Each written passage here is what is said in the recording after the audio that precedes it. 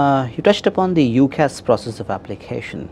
Uh, can you please tell our students how many applications they can make through UCAS? Yeah, certainly. So UCAS allows you to make five applications.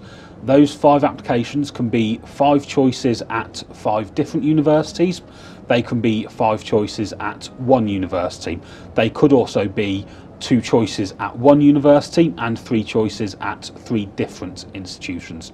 The only difference to that would be if someone's interested in applying for something like medicine, dentistry or veterinary and that is where a student can only apply to four medical schools for example and the fifth choice would have to be something that isn't medicine.